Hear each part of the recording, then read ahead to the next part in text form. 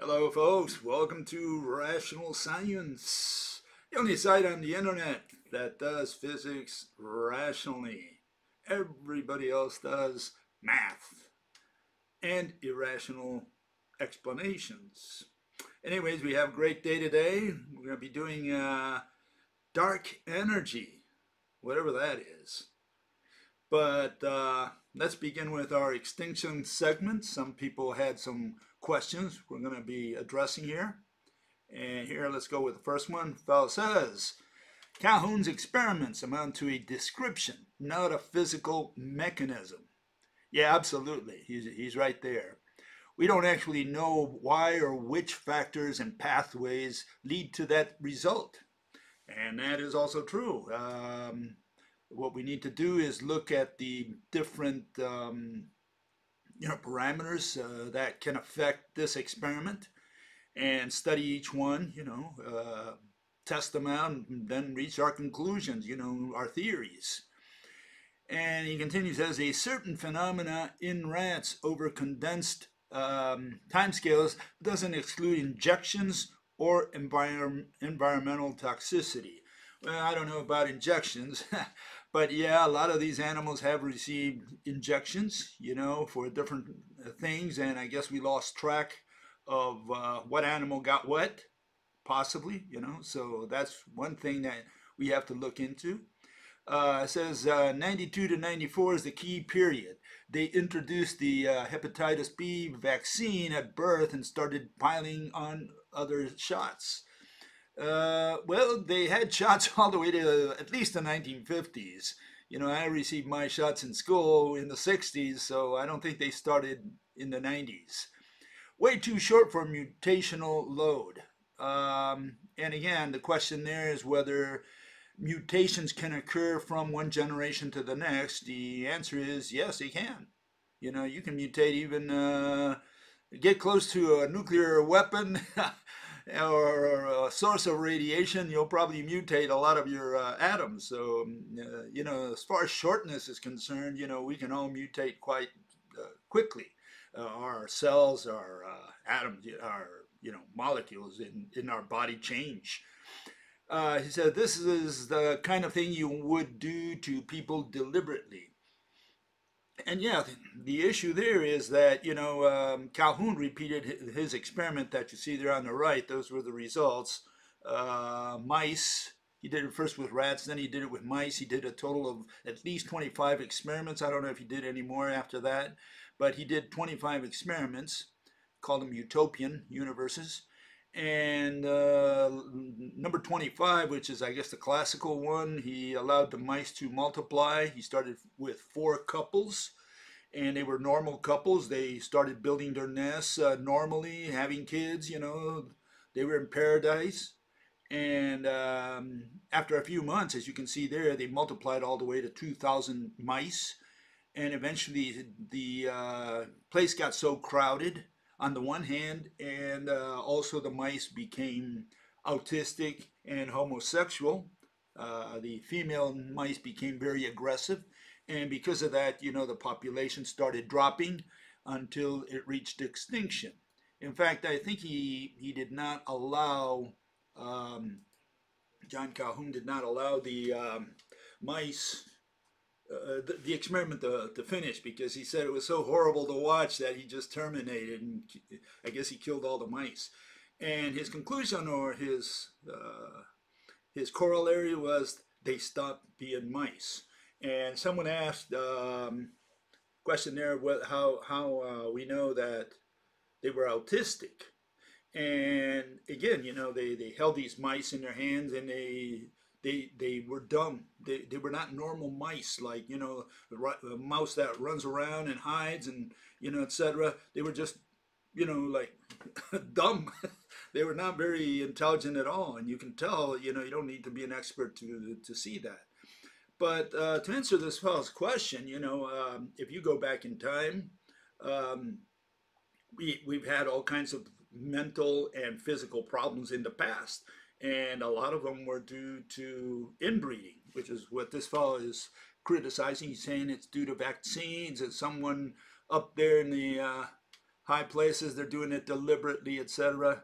You know, I doubt that very much. Here, here's a couple examples, just an example, okay? Um, uh, these were a couple of conjoined twins among, not, not the first, but they came before the famous Siamese twins that Barnum and Bailey, you know, showed in their uh, circus, right? Um, and this, this dates to the 1700s you know and um, the question is is this due to vaccines and something like that? Uh, you would think that this is something genetic. These people were born like that okay? And they were not even the first. Uh, in fact the first documented ones we have today are these. Here you see them in the village of Emmaus in Palestine a child was born perfectly normal below the navel but divided above it so that it had two chests and two heads each possessing the senses. Okay? And essentially they're describing there the uh, Siamese twins that came out and went in the year 385 to 386.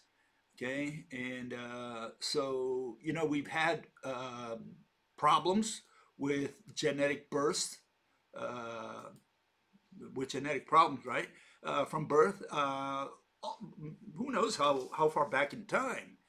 And let me give you another uh, example, and that is, uh, you know, it said that the Spartans would throw uh, babies who were born wrong, you know, um, from the mountain. They would kill them because they wanted a tough race, you know. they wanted everybody to be born normal. And uh, obviously, these babies were not homosexual or autistic because you can't tell that when the baby is born. Now they obviously, if if they did this, if they really killed the babies uh, when they saw something wrong, it, it was something obvious, and uh, it had to be something physical, something external that you could see right there and then. But the point here is the following: you know, a Spartan uh, and an Athenian considered each other uh, foreigners. You know, Corinthians, Argos, and all these little city states each one was considered a different country. They all spoke the same language, they prayed to the same gods, they probably had some different accents, right? But the point here is that they considered them each other foreigners. You know, you, you were you were not of their um, city state. The country was a city state. And what's the issue? The issue is that, you know, people within the city state would marry people within the city state. They would not marry foreigners. An Athenian would not marry a Spartan or a Corinthian or whoever. Uh, so, so we have to keep that in mind. Uh, these were relatively small villages uh, trying to become cities or towns, right? And they inbred, they uh, generation after generation, especially the rich people you know, they, they had a girl and the other guy had a guy, and so they got them together because they would kind of unite the uh, wealth of the two families. And they did this quite a bit over time. And, you know, what do you think would happen after several generations? Well, you have inbreeding. And we know what happens with, from inbreeding uh, because we see it with the Amish. We see it also uh, some of the kings. I talked about in the past. Uh, Charles II of Spain, uh, Alexei, the son of Nikolai II, the last um, Tsar, you know, they were born with uh, defects. Why? Because they came from families that inbred. Okay, in fact, uh, uh, both Nikki and uh, Alex, um, they were they were both grandsons, uh, grandson and granddaughter and grand uh, kids from Queen Victoria, and yeah, when you inbreed, well, you get bad children. And that's got nothing to do with vaccines or anything like that. It's got to do with inbreeding. And what does that affect? Well, that has to affect your genes. You know, so I think it's got to do uh, all this uh, stuff that happened to the mice has to do with inbreeding, primarily with inbreeding. But again, he's right. Uh, unless we run a test for each parameter, uh, we won't really and and check them out, which is John Calhoun did not do that. Um, I, am not sure if he was aware that he was had a um, uh, you know a, a an original colony uh, with just four mice, uh, four couples of mice that uh, who knows where they came from? You know, did he check any of that? He, he, he didn't check uh, the source of these mice. He just said, hey, give me four couples. He put them in there and he says, uh, let's see what happens. Why? Because he, he was a psychologist and he was interested in uh, finding out what crowdedness, you know, uh, density did to uh, the, the animals, these animals, these mice, um, to their brains.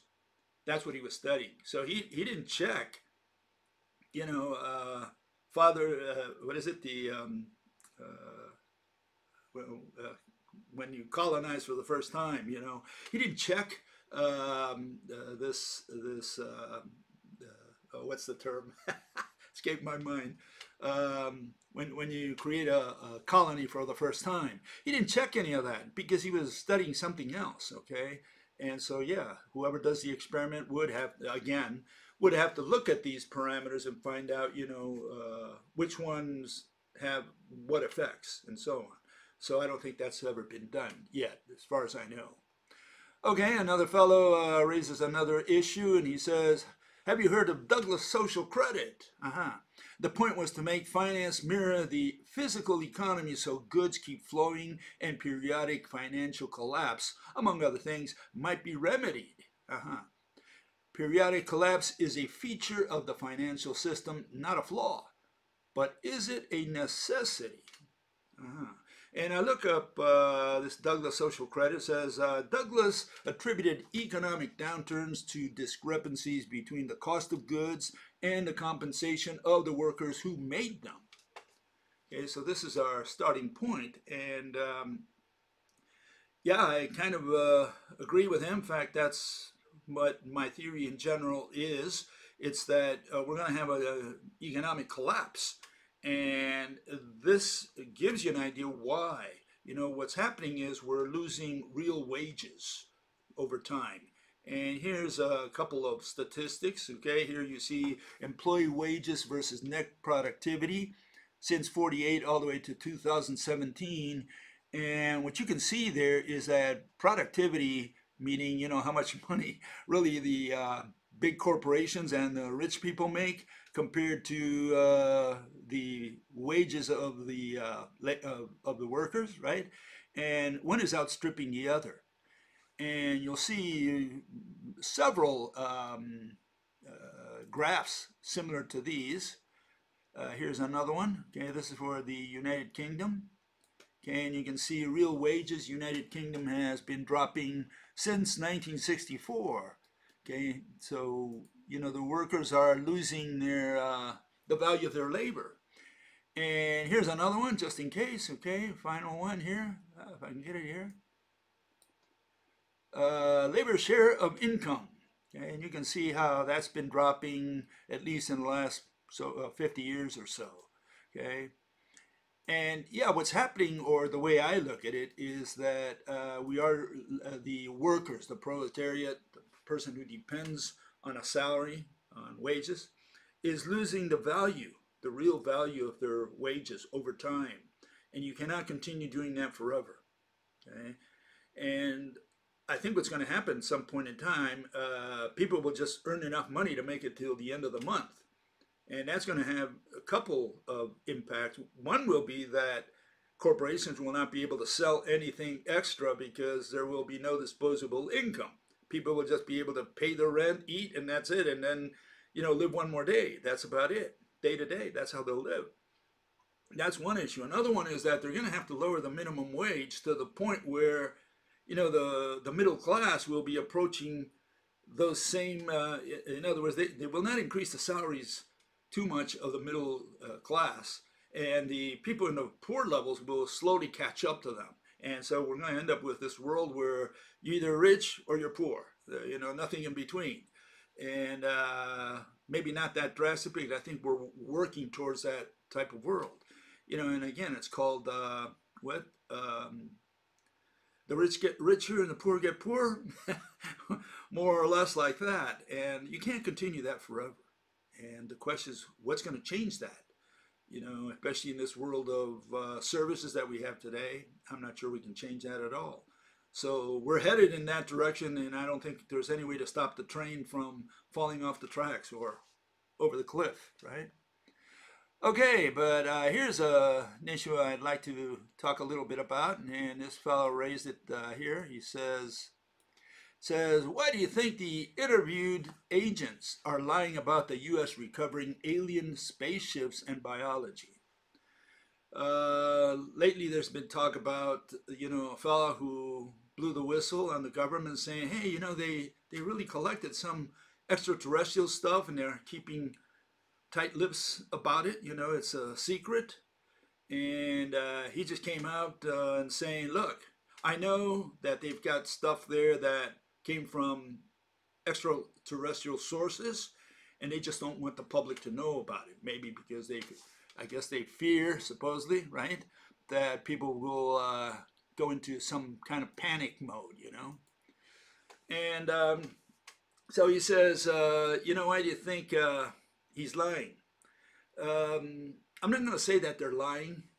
Uh, they, they, probably believe that, uh, strongly believe that, you know, in fact, they have uh, recovered something out there. And for some reason, he believes that it's extraterrestrial uh, source. And the government maybe uh, is uh, considering that as a possibility as well. People who do investigation, research, etc. Um, and so it's not a question of lying. It's a question that they probably do actually believe that these are from extraterrestrial sources. And all I can tell you is it never happened and never will. Okay. And so let, us let's, let's look at this in a little more detail. Okay, I've never done that to uh, to great satisfaction. So let, let me go over this a little bit. It's known as uh, Fermi's paradox. Okay, what is Fermi's paradox? Well, we can synthesize it uh, by synthesize it by saying, why haven't they, you know, the extraterrestrials, contacted us? That's what it's all about. Why haven't they contacted us? I mean, if if there are civilizations out there, you would think that there are some civilizations that are more advanced than ours you know, maybe they, they're a thousand, two thousand, maybe 10,000, a 100,000, maybe a million years ahead of us. Man, they have to have all this fancy technology with which not only they can come here, but they can uh, study us, they can conquer us, you know, they can do a lot of stuff. And so Fermi was saying, well, if that's true, if there are millions of other civilizations out there, you know, why haven't they contacted us? Is it that we're too far away? Is it that they haven't seen us? Uh, what's the issue? You know, and you you can have a lot of theories or assumptions about that. And so let's go over this and let me show you that it's impossible. this is the issue, okay?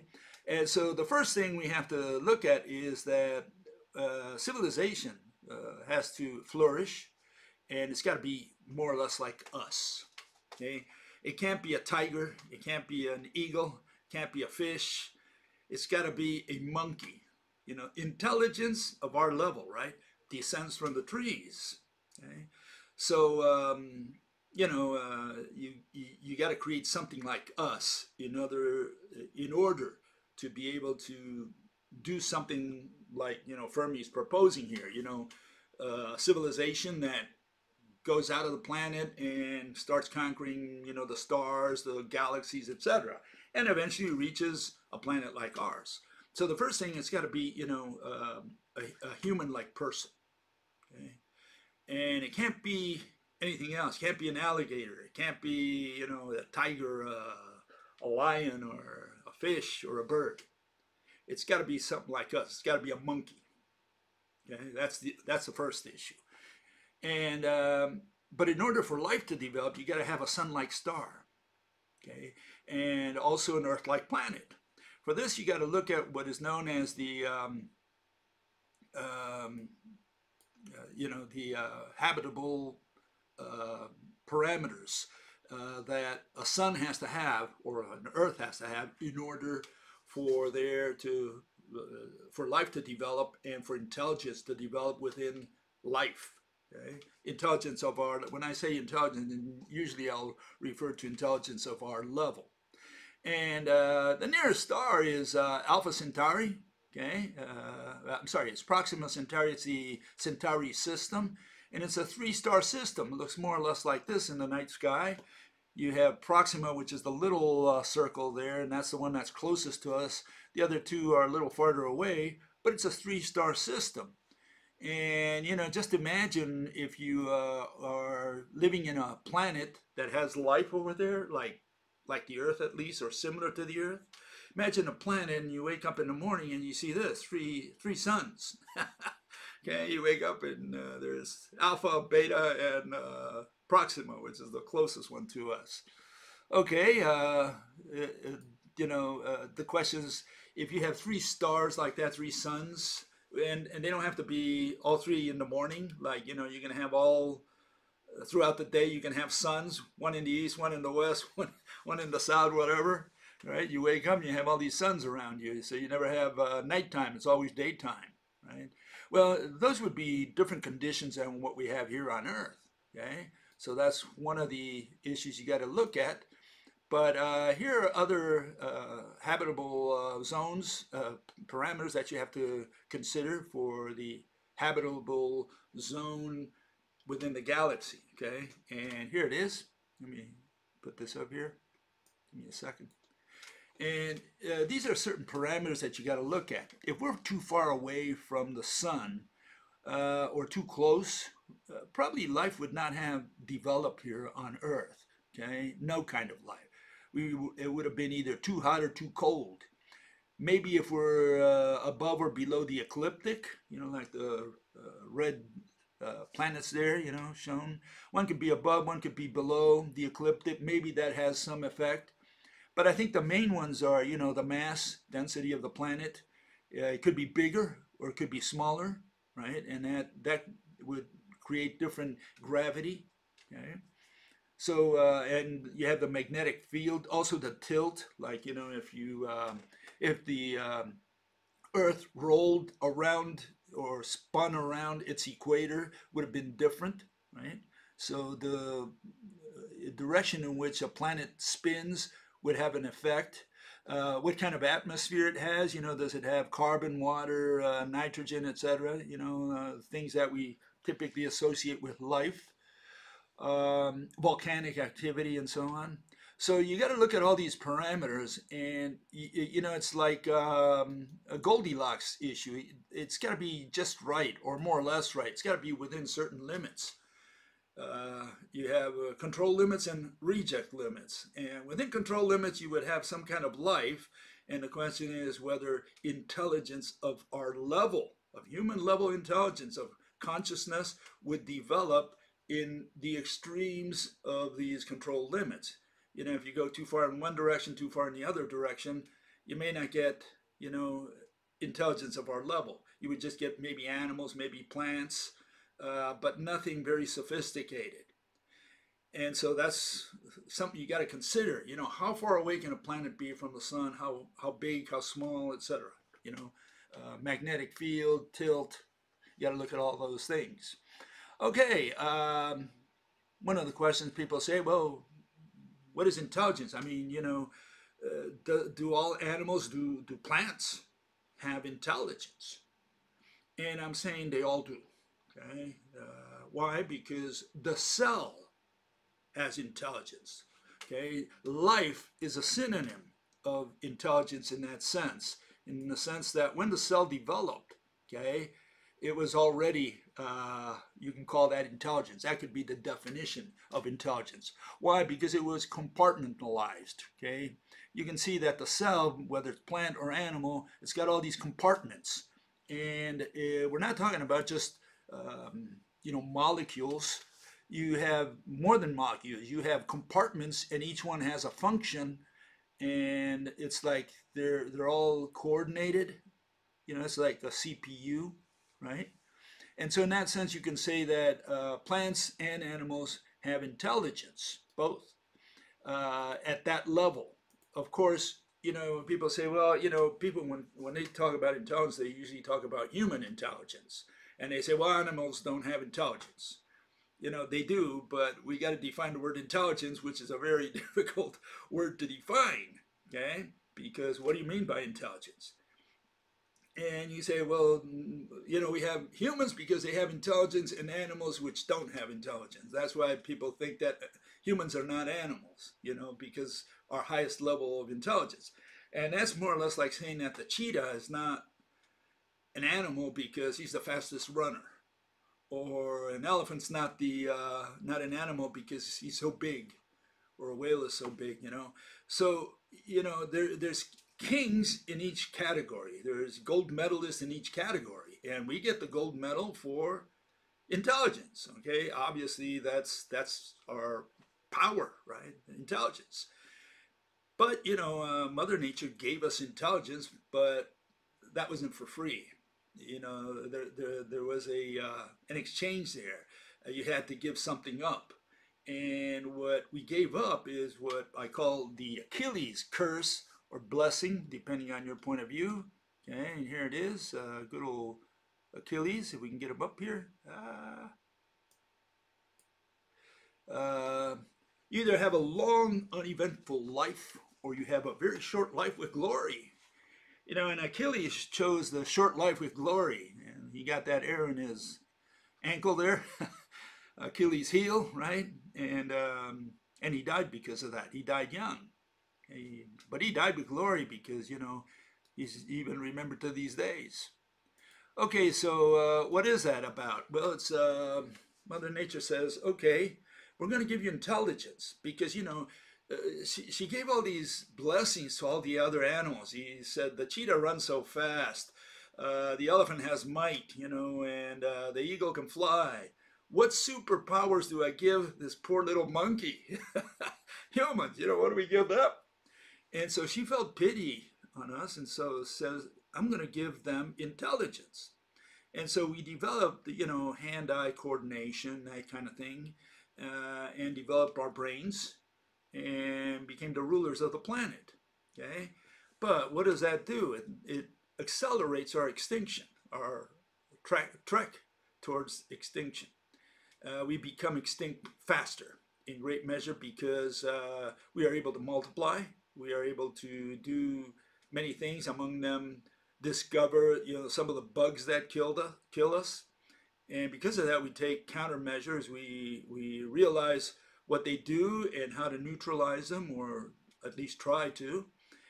Because of that, uh, we reach our um, level of, uh, of immunity a lot faster than other animals. Other animals take a long time because they do it through a natural process. We do it through with the help of a lot of artificial stuff. We also uh, realize we have to sleep uh, better and uh, you know keep the place clean. We're aware of all these things. You know other animals you look at chickens they're they're uh, birds in general doves you know pigeons they're the, the dirtiest animals you can imagine. You know they just shit everywhere and, and they walk in that and you know and they live in that environment uh, whenever like in the case of chickens you know they're in this coop and they've got all this uh, manure everywhere. And if you don't clean it, you know, disease develop that sometimes they pass on to humans, you know. So I think a lot of the uh, diseases we got, we got from the animals that we corralled, uh, you know, put them in, in pens and uh, corrals and coops, right? So, you know, um, we learned about these things eventually. And so because we learned, we were able not to die so soon at the age of five or earlier. And because of that, you know, our population multiplied, meaning that, you know, we were able to move a lot faster than other animals. But all that does makes us more efficient, and efficiency takes us to our early end, extinction.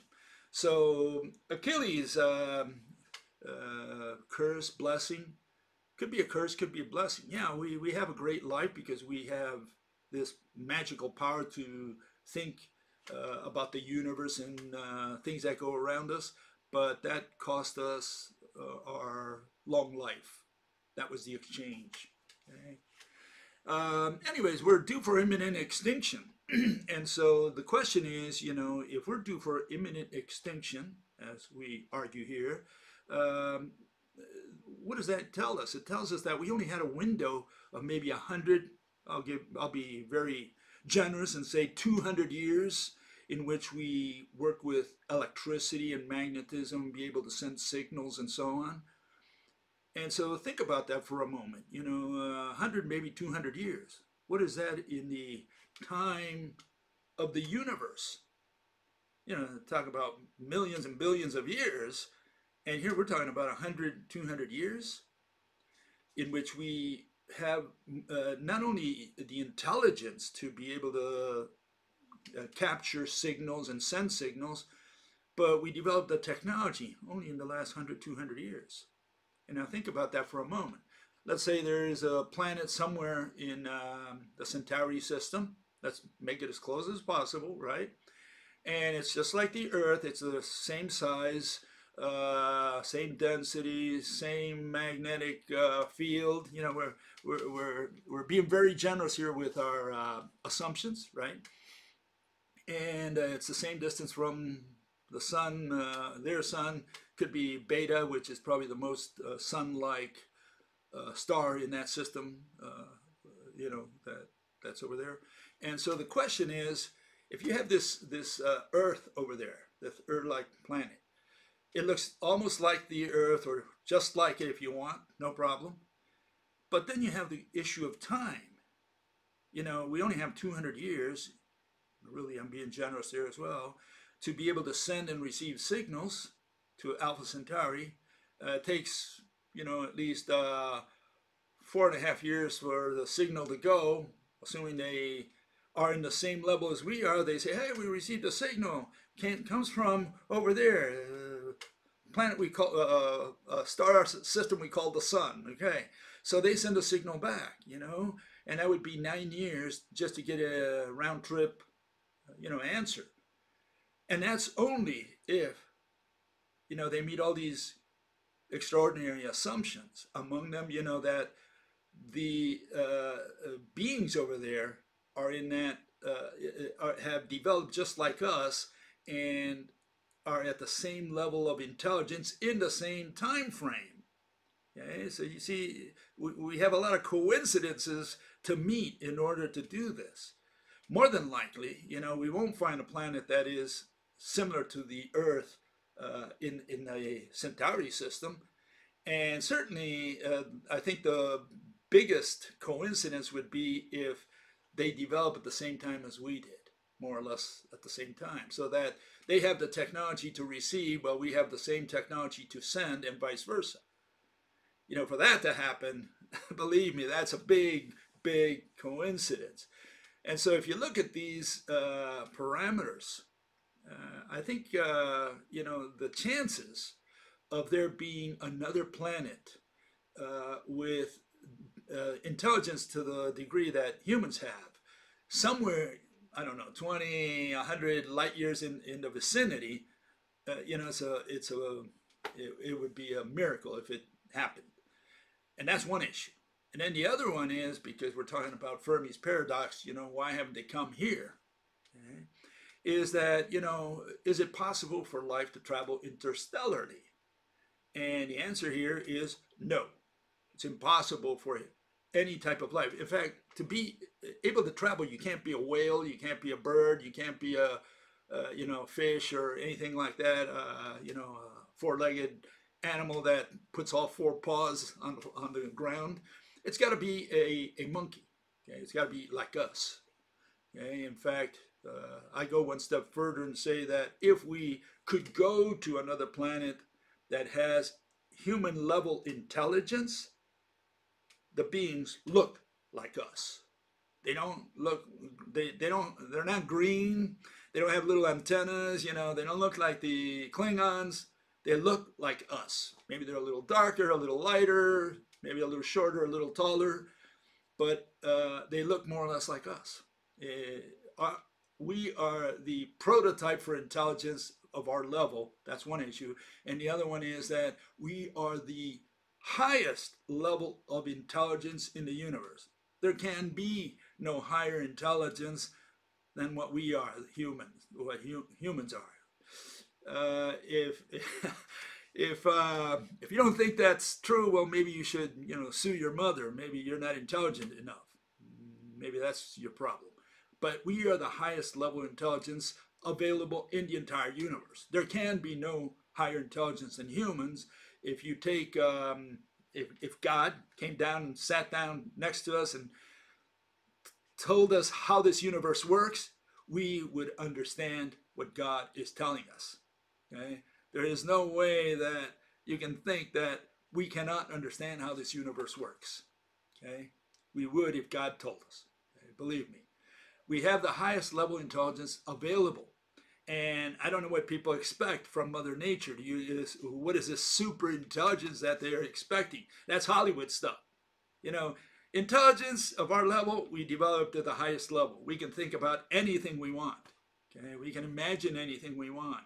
Okay, so uh, not only does intelligence walk on two legs and descends from the trees, but it, we have the highest level intelligence possible in the universe. Okay. Now, what's the issue? The issue is that uh, you, we would have to be something like us, you know, some humans like us, to be able to travel interstellarly. Again, uh, whales, fish, none of them, uh, birds, you know, uh, lions, they don't think about traveling interstellarly. That's for higher level intelligence like us, the kings of intelligence. Okay. So they not only would they look like us, but we would be able to build something to travel outside the Earth, which we have. Okay. But the question is, can we travel interstellarly? And the issue is no. Here's uh, the my version versus the mathematical physicist uh, version of how the universe is built. Mathematical physicists and everybody and their mother for the last 3,000, 4,000 years has proposed particles. That's what they have proposed. Everybody proposes particles, discrete particles, and they try to do everything with particles. And we're saying there's a different universe. Our universe is a single thread. That's all there is. Okay, single closed loop thread. And uh, this turns into all these interconnected atoms. Again, uh, you see what the rest of the world believes and proposes. You know, they have always proposed that. There's nothing different than what you see there on the left. And we propose that all atoms are physically interconnected. Okay, so uh, once we start with that, uh, you can see that it leads to different uh, types of theories. Okay,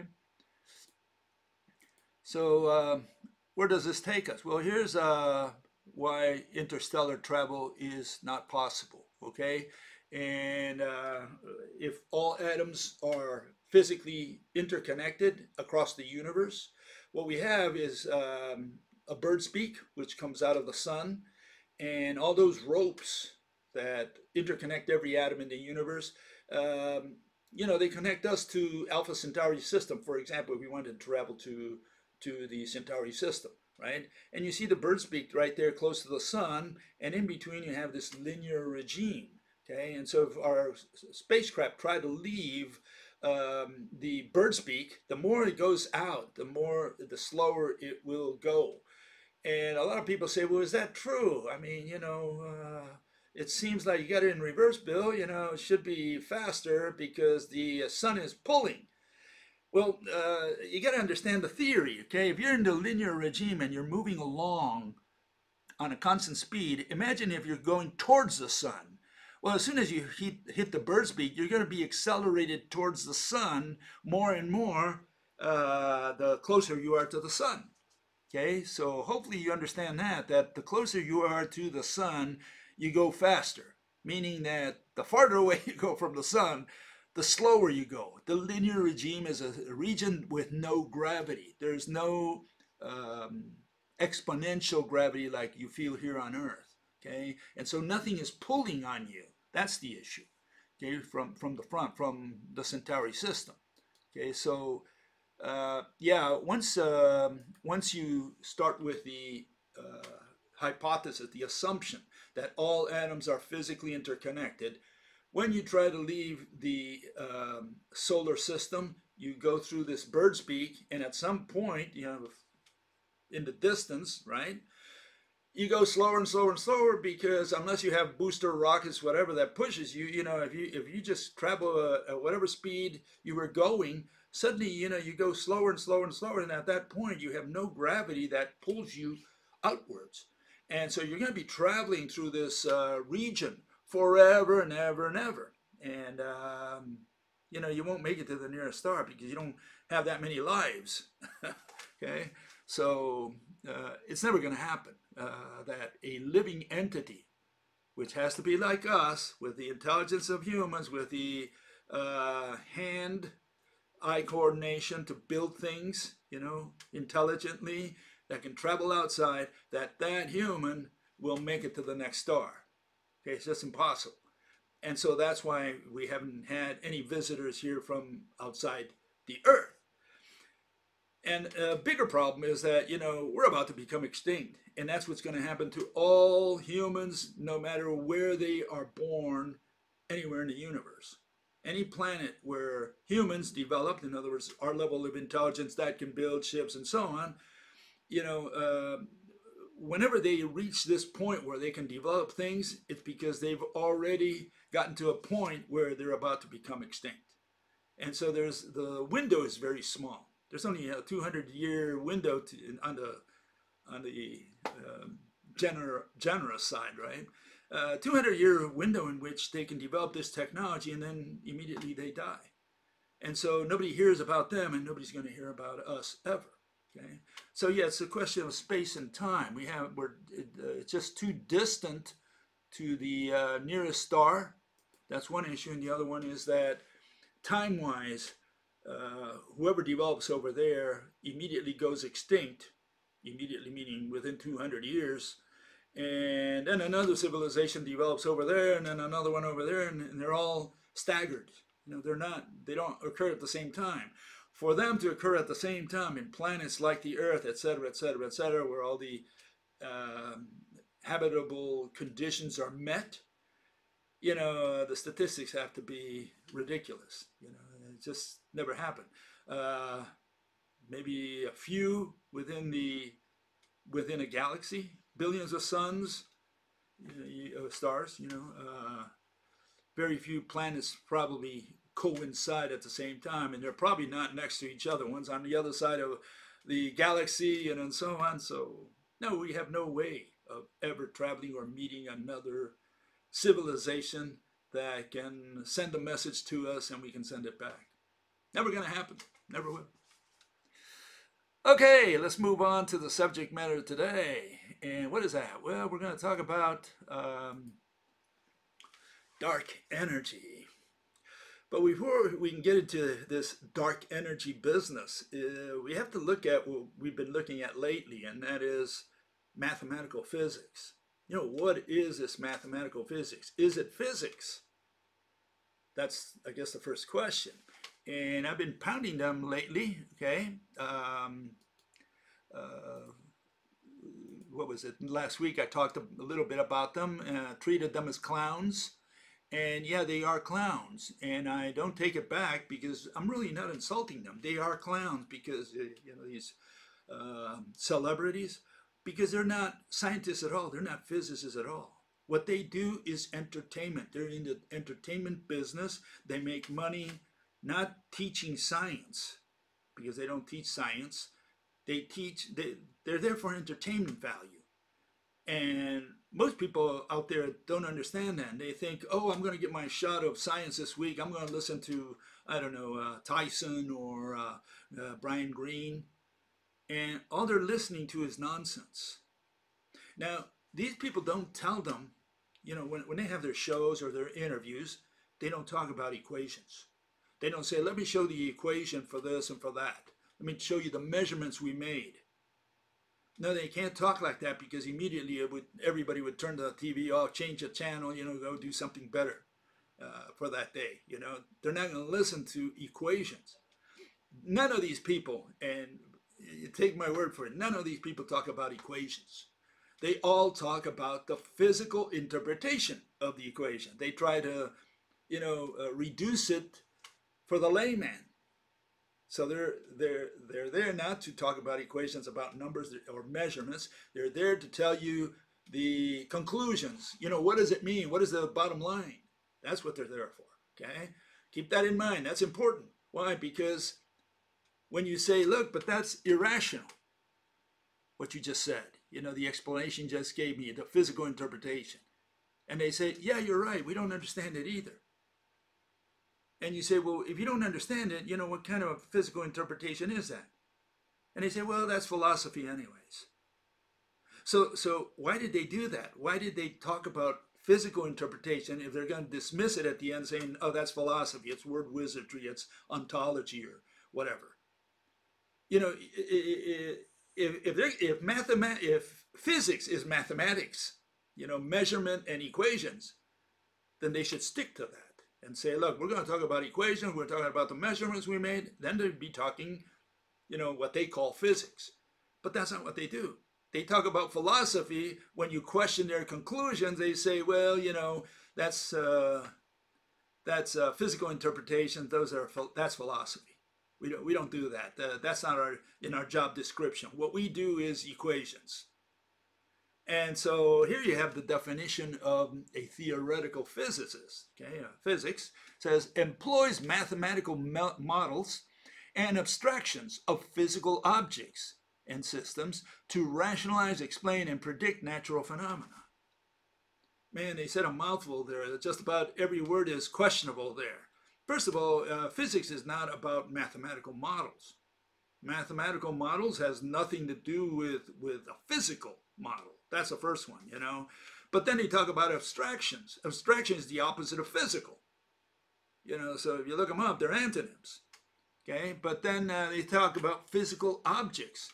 The only thing that mathematical physics doesn't have is objects. They treat concepts, abstractions such as field, wave, mass. They treat all these at time, you know. They treat all of them as physical objects. They bend time. They move the mass. They transfer energy. They vibrate the field. They treat every one of these abstract mathematical concepts as physical objects. So uh, a, again, we have a problem because they're talking about abstraction. No, what they're doing is they're they're using mathematics. They're using equations. They use measurements uh, with their units, corresponding units. You know, like the kilogram or the meter and, and they're going to use the meter and the kilogram as a physical object. That's what they're doing. That's more than an abstraction. That's irrational. you know, if you say um, that you're going to treat a ghost or a spirit, and you say, look, there's a spirit, and I'm going to draw him, you say, okay, he took this abstraction, turned it into something concrete because you can see it now. But to take an equation or a number like or, or a value like five kilograms and turn that into a rock, which is what these people do, turn it into an object, that's irrational. Okay, because now we're talking about more than just, you know, uh, a concept that you can visualize like a ghost or an angel and saying, well, I'm going to turn that into, you know, the spirit, I'm going to turn it into something concrete. Here you're talking about a number being turned into a rock. Okay, so this, this is where the problem starts. Uh, but what does mathematical physics do? Well, they, they have equations. And what the equations do? All equations only describe. Equations have no power to explain. And so equations belong to math and, uh, you know, uh, and uh, explanations belong to physics, to science. Physics tries to explain, not to describe. It's math that describes. Okay, and so we have you know, these people say that math is, or mathematics is the language of physics. That's nonsense. The language of physics is illustration. You have to illustrate the mechanism. You have to show the cause. That's what physics is about. But to describe and say, look, this this uh, lion ran so fast, or or whatever, or the ball fell to the floor at such speed, you know, or such acceleration. You know, that's that's a description. You haven't told us the cause, the mechanism. And that's the issue. And so math is one thing, physics is something else. Math, uh, quantitative description, it tells you how something happened, not why it happened the way it did. Okay? So one has to do with description, the other one with explanation again. Experiments cannot reveal, you know, the uh, invisible mediators. So the fact that you have um, taken a measurement and you have an equation, you have not revealed what invisible entity has performed this, uh, this experiment. or, or this uh, phenomenon. The, the issue here is, is very simple. If, uh, imagine, I'll explain with a uh, little example. Uh, you think there's a rat, and so you see something happening, and you say, well, it's a, it's a rat. The rat was here, the rat was there, the rat was there, and you see the rat at different places. It's an invisible rat, but it has these uh, impacts, and you you are able to detect the impacts of what it does to visible things, but you can't see the rat. You say, okay, the rat was over here. Now the rat was here, the rat was there. And you do all your equations, your measurements with the rat, with the rat in mind, because that's what you think's out there doing all this stuff. It turns out that if you had the eyes of God, you would see that it's a snake. And each one of those blips was uh, the the uh, contortion of the snake. You know, uh, so you were confusing uh, many rats with one snake and the undulations of the snake.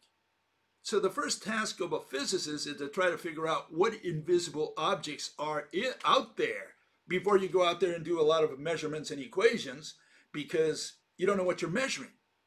You know, you think you're measuring all these mice, these rats, and it turns out it's a snake. Or maybe it's a, you know, fish or a, an eagle. Who knows? First, you got to determine what object is out there. And people say, well, why does there have to be an object out there mediating all these things like entanglement, you know, or gravity? You have to have one because otherwise you're doing your explanation with black magic. You're doing witchcraft. You're saying that this affects that without anything being in between them.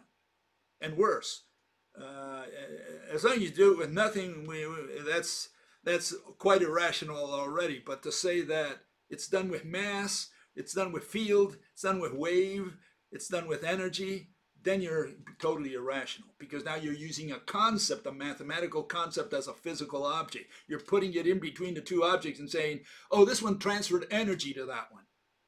No, no, you can't transfer energy any more than you can transfer love. You know what do you do? Throw hearts at the other one? You know, how do you transfer love? You don't transfer love, you don't transfer energy, you don't transfer concepts. You can't talk like that in physics. In physics, you got to transfer rocks. That we can do. But of course, if people say, well, that's not what's happening out there, there are no rocks, no discrete well, then we have a problem, don't we? Then you can't use the rock as a uh, mediator. Okay? But these are the things that we have to resolve. Okay, so yeah, we have energy, mass, field, all this. These are concepts, and uh, what they do is use them as mediators in mathematical physics. Action at a distance, that's a big problem. Okay, action at a distance, especially for pull. Mathematical physics has never discovered or invented the force of pull, and neither have any of the dissonance out there because they all use particles. Ultimately, they all use particles. They use the wave, which is made of particles. What is a wave? Wave are just vectors or particles that are moving up and down. So it's always particles, discrete particles. And in quantum mechanics, they say, well, they're particles, but particles are not particles. They're not the classical corpuscle. Particles are more numbers, values. That's all they're shaking around, numbers. And so, you know, how do you do the physical interpretation of action at a distance with concepts? And you can't.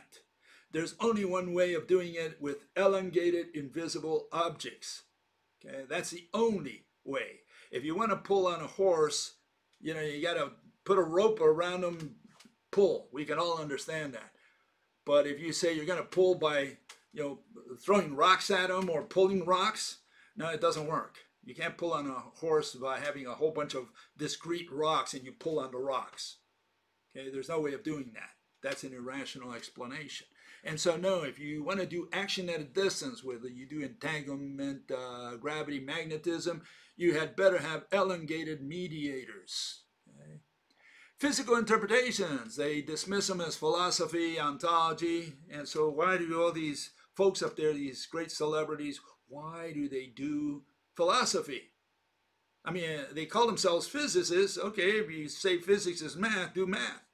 Well, if they did, everybody would switch channels. That's what they would do. So they, they don't do equations. They do philosophy, what they call philosophy, and then they do irrational philosophy. When you question that, they say, well, we don't understand it either, and then it's philosophy anyways. so what are these people good for? I mean, what do we need them for? to entertain us. You know, I think you know you might might as well watch, uh, you know, uh, beauty contests or something else, right? Okay, and then they dismiss rational definitions as semantics and word salad. That's another one. You know, they when you question their definitions, they say, "Well, now you're doing semantics. You're trying to win this argument on the basis of semantics." We're not trying to win any argument. We're just trying to make sure that we uh, offer a rational interpretation for how this universe works. And these people cannot give you a rational interpretation. They can only give you irrational interpretations. What's irrational? To use a concept as an object, to use mass and say it's a rock, to use energy and say you're going to transfer energy, to say field and that you're going to vibrate the field or shake it or, you know, whatever, energize it. and uh, bending of time, you know, what is all that nonsense? So this is the issue. Okay, um, so where do we put this um, dark energy thingy to begin with? Okay, uh, first of all, you know, um, in physics, we do not use adjectives in front of objects. Okay, we cannot say black energy or red energy or you know jumping energy. We can't use like that. No no adjectives or adverbs in front of nouns. Nouns are all like this, that, rock, tree, you know, uh, house. You point and you name. You can't say red house. There's no such thing as a red house in physics. It's house. Okay? Red is irrelevant for, for presenting the object. You can't say the white cat or the dead cat or the live cat as in Schrodinger's equ uh, equation and uh, his, his cat uh, analogy there. No, uh, you point and you name. It's got to be, you know, no adjectives or adverbs in front of the noun. Nouns don't need adverbs or adjectives when presented in physics. Okay? And so uh, dark energy, we don't have to look at the word dark. We look at word energy. Is energy a physical object? Is it a thing? Can we talk about energy as a thing and say we're going to transfer energy, for example, right?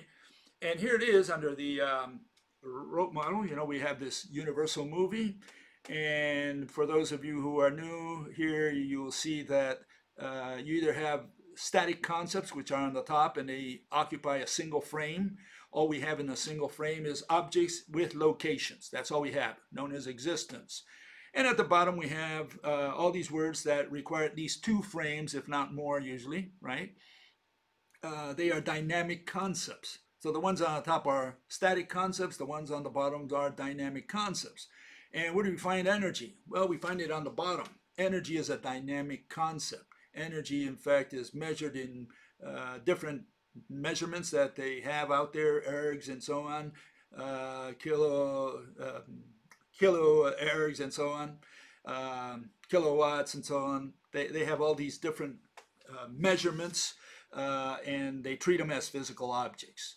Okay, and so here you have uh, energy. Energy is at the bottom. It's a dynamic concept. So uh, we're not going to be talking about a thing. We're going to be talking about an abstraction, a dynamic concept, okay? Energy. So whether it's dark or light, you know, bright or whatever they, they want to put in front of the word energy, it doesn't matter because we're not talking about a thing.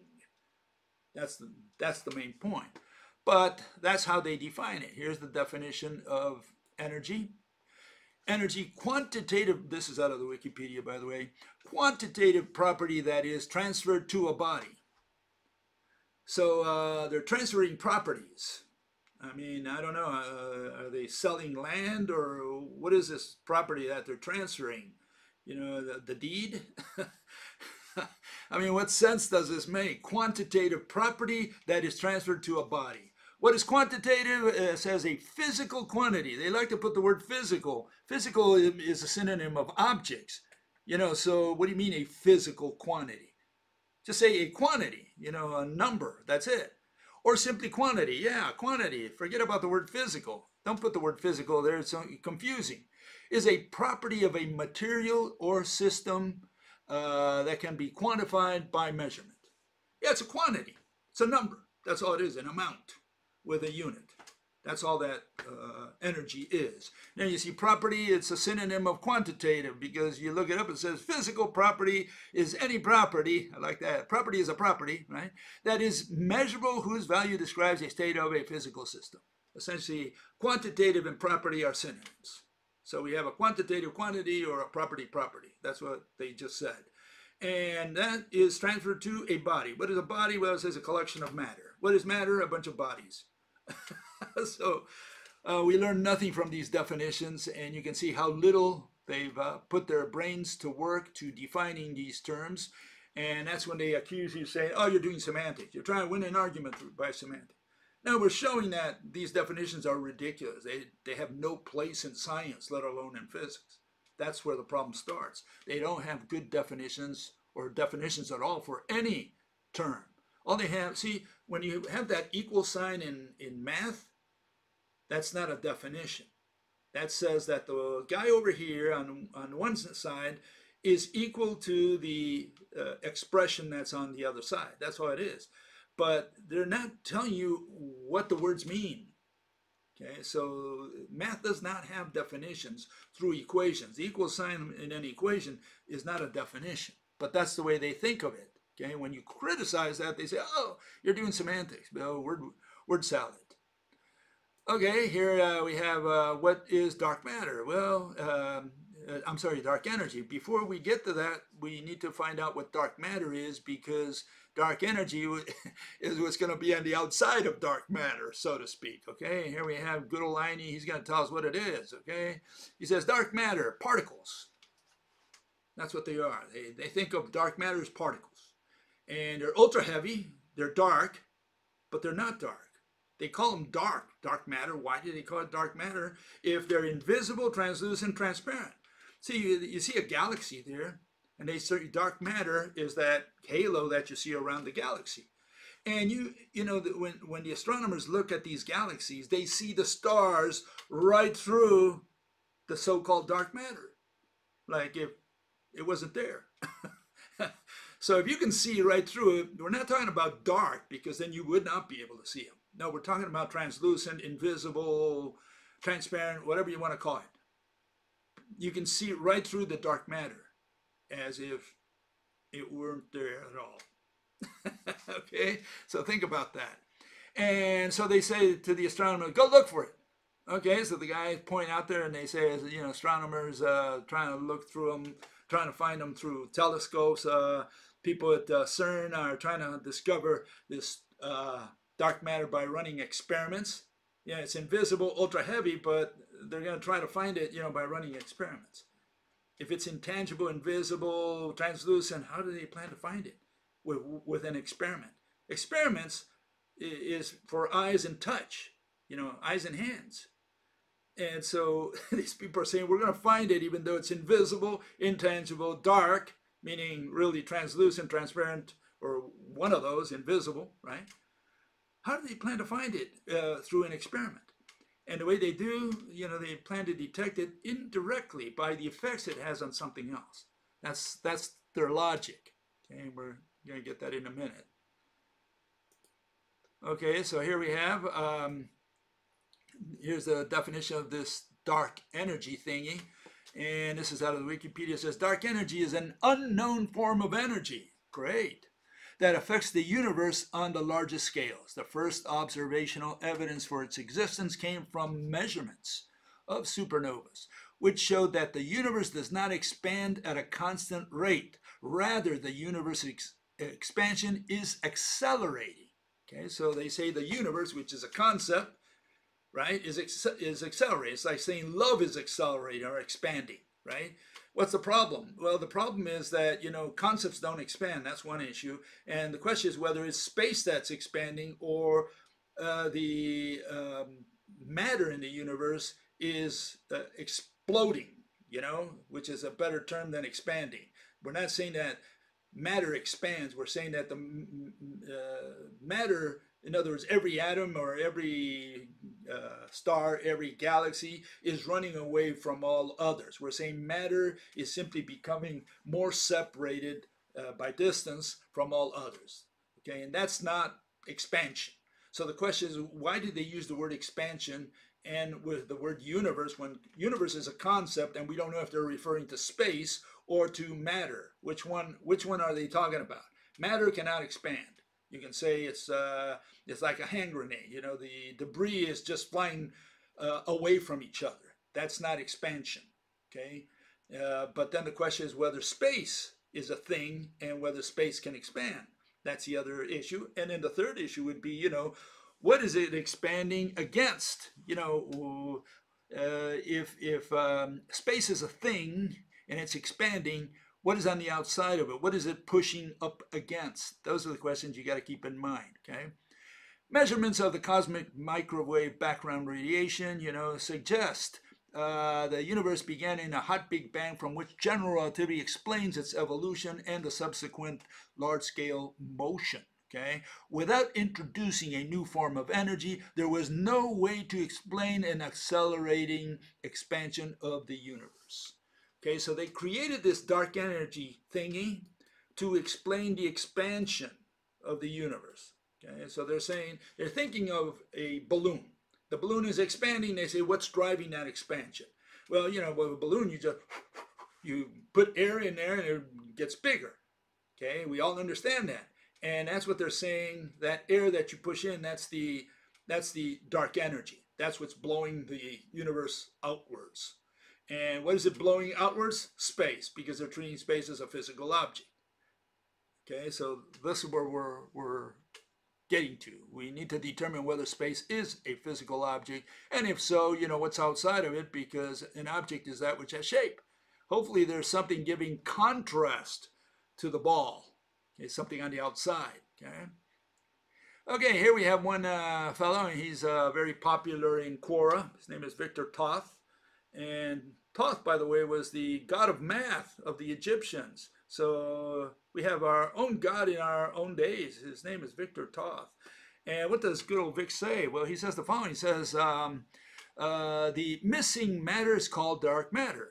The remaining stuff with negative pressure is called dark energy. Okay? So if dark matter is what surrounds a galaxy, you know, why does it stop? Why does it continue all the way to whatever? Well, because if we had dark matter all throughout the universe, it would be it, it would um, be gravitationally uh, pulling. And they need to explain the opposite. They need to explain why the universe is expanding, not why it's contracting. Okay, so dark matter they only sprinkle it around the galaxies for whatever reason. It stops there. What continues is dark energy, and that's what's pushing the galaxies away from each other. That's their notion of this uh, universe that they've created for us. All this is based, uh, all, all of this is backed by pretty solid, rigorous mathematics. Again, uh, to make equations, uh, numbers, uh, mathematics for something that you can't see and that you assume is made out of particles is uh, too quick a step. You can't move to that until you've identified the invisible stuff first. You need to know whether it's a rat or a snake before you put your equations to work. Okay, because if you start doing equations on rats and it turns out it's a snake, well, maybe you wasted a lot of hundreds of years on nonsense. Okay, and that's that's where all these people stand. Yet at the same time, we have not the faintest clue as to what these dark thingies really are. Love that. so he has no idea what it is, but they're already doing equations on it, okay? And here he continues, he says, what is dark energy? Dark energy could be just an artifact of the so-called cosmological constant. You know, that was uh, Einstein's biggest blunder, as he called it. Or the potential energy of a so-called scalar field or maybe just the energy of the quantum vacuum. I believe that we need to find ways to, uh, uh to you know, actually detect these dark thingies before we can say anything definite about their nature. Yeah, I'd like to. Uh, he was right there. Yeah, you first need to identify these thingies before you do a lot of equations and uh, you know convince the public that they exist. Perhaps these dark thingies do not even exist they are mirages of sorts because we are doing the math using the wrong theory of gravity. Okay, so uh, you can see uh, some of these people doubt uh, what has been already proven and served to the public as a done deal. And they say dark energy, we've proven it. Dark matter, we've proven it. Black holes, we've proven it. We've proven everything. Big Bang, we've proven it. Entanglement, we prove it. They prove everything. They proved everything, and they say, look, we haven't, we don't know what they look like. We don't understand it either. But Father Universe, you know, he speaks a different language than we do. He doesn't have to think like we do. And that's the kind of answers you get from him. That, you know, we'll never figure it out because we're not intelligent enough. Uh, you know, again, uh, intelligence, right? So we're not intelligent enough to figure it out. And all we can do is search and describe. And that's it. That's all these people have to offer. And then when you uh, get these celebrities, they don't even do that. They don't even do the math or descriptions. What they do is they do explanations, irrational explanations. When you question them about it, they say, well, you know, you're doing semantics and it's philosophy anyways. We don't care about it. So why do they hire physicists to do philosophical work on TV and on uh, uh, interviews and so on?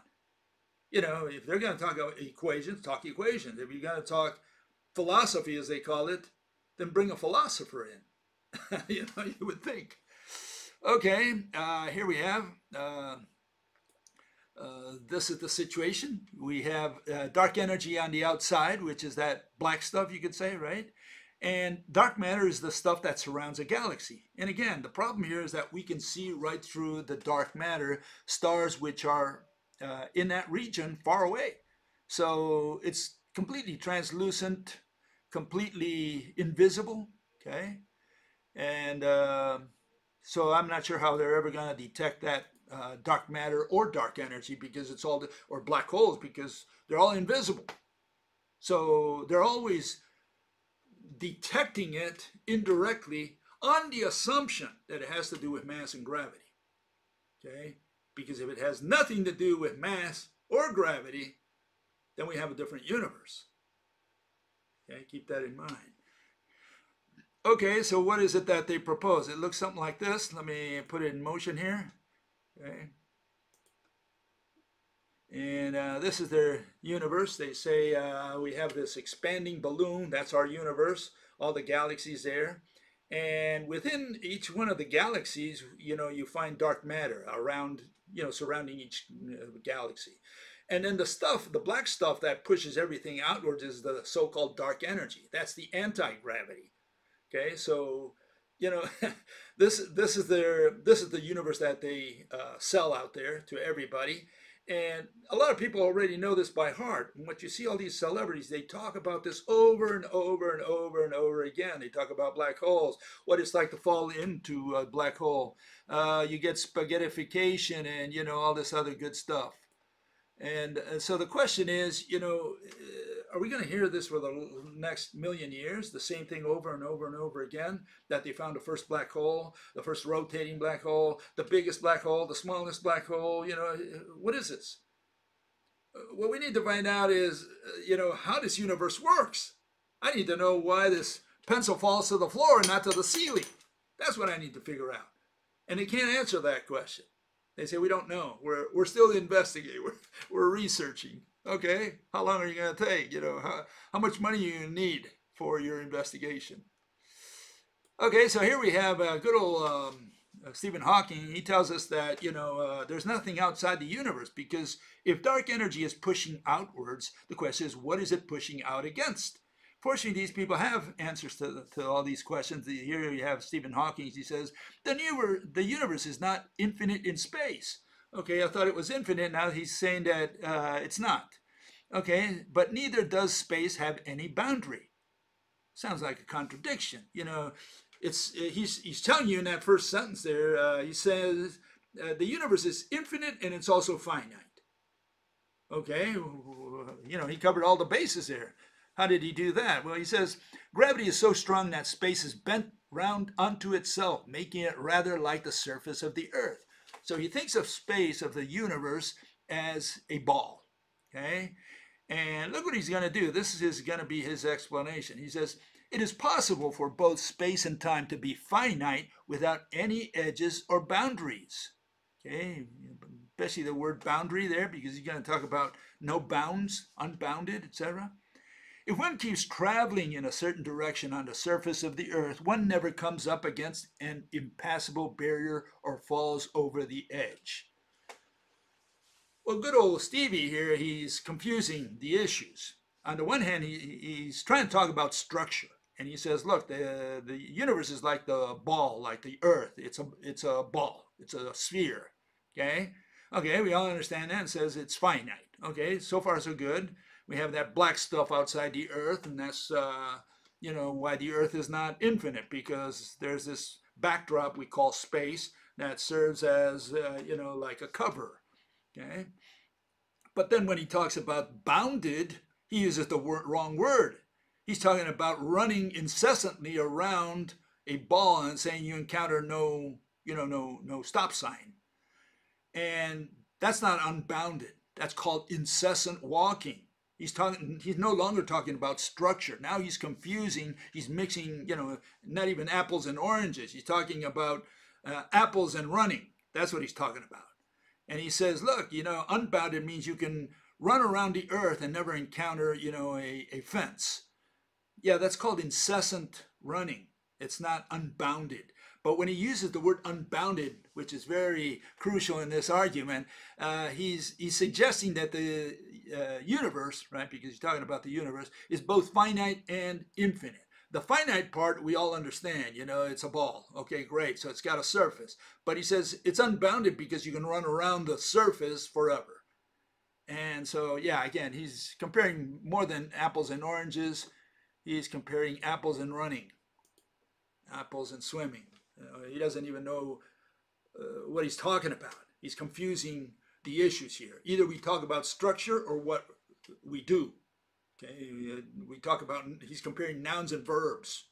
That's and he calls the verb unbounded. Okay, no, it's incessant because he's talking about walking or running or whatever. Okay, here's another fellow who explains how the universe can be infinite without um, without any problem. You know, uh, without having something outside of it. Okay, because this is what they're trying to show. They're they're trying to show that the universe is both finite and infinite, and this is how this guy explains it. Okay, and this is uh, Richard Muller, Dickie Muller, and he says the universe doesn't have to be expanding into anything in order to expand. No kidding. Okay, let's see, how does he explain it? I know that sounds ridiculous. Absolutely, Dickie. It's totally ridiculous what you just said. But he has an explanation. He says, suppose you have a long piece of rubber going all the way to infinity. Okay, that piece of rubber represents the universe. Okay, the rubber has marks on it every inch. Now stretch the rubber until the markers are two inches apart. It still goes to infinity, but it has expanded. In other words, uh, he's talking about infinity, which is a word uh, that um, irrational people use in math. Okay, they talk about infinity because they're talking about numbers, and they kind of you know do this sleight of hand where they put the word infinity uh, in physical terms. You know, they they push the word infinity into physics. That's where the problem is. Okay, and uh, that's one other one. The other one is that he says long piece of rubber. What do you mean long piece of rubber? Long piece of rubber is not the same thing as infinite piece of rubber. Okay, if it's a piece, then it's a object and it's got shape, meaning it's uh, surrounded all around by something, for example, or nothing in this case, uh, by space. That we can understand, but he says it's a long piece of rubber, but it's it's infinite. It goes all the way to infinity. Well, then it's not a piece of rubber because we can't see the shape of the rubber. Okay, so either it has shape all around, you know, or it's infinite. And if it's infinite, it's not an object because we don't know what we're talking about. We don't know what that is. Is it growing? Is that why it goes to infinity? So he's got to resolve that, but he just does a sleight of hand and he doesn't even notice what he's saying. And he says it represents the universe. In other words, he's trying to say that the universe is a physical object and it's finite, but it's also infinite because you know uh, we don't know where it stops okay and that's not the issue the issue is you have to visualize it for us and draw it on the board and for that you you have to have a shape so you can say look that ball there that's the universe well that ball is not infinite And again, we're not talking about running around the ball. We're talking about the object that you're pointing to. Okay, so that, that, those are the things you got to keep in mind. Physicists think of space not as emptiness. Yeah, I know. That's the, not physicists. These are known as mathematicians. But similar to a piece of rubber. But they don't call it rubber. They call it the vacuum. Particles in physics are just vibrations of the vacuum. Absolutely love it. And this guy's a teacher, a professor at Berkeley. This is what he teaches, this nonsense. Okay, he says the vacuum is a thing, and uh, when it vibrates, uh, we call those particles. The vacuum can expand. Okay, so we have nothing expanding now. Okay, vacuum is nothing and expand, but he says it's something, right? Just like the piece of rubber. Okay, and he, again, what did he say the rubber was? Infinite, right? So he says the vacuum is infinite, so a physical object that is infinite, right? But because it, it goes all the way to infinity, it doesn't need more space. A clever way to say it is that there's lots of room at infinity. That's clever, but it doesn't really explain anything. yeah, all these people, they have no clue whatsoever. They don't even know what they're saying anymore. And where's the problem? The problem is, again, they're trying to give a physical interpretation to their equations. And in their equation, they have all these infinities, zeros, all that stuff that has nothing to do with physics. But they casually transport it or in, uh, you know, uh, extrapolate it into physics the physical world, the structural world, the world of objects, and they say, oh, infinity, infinity. So uh, the rubber is infinite. The universe is infinite. That's what they're saying.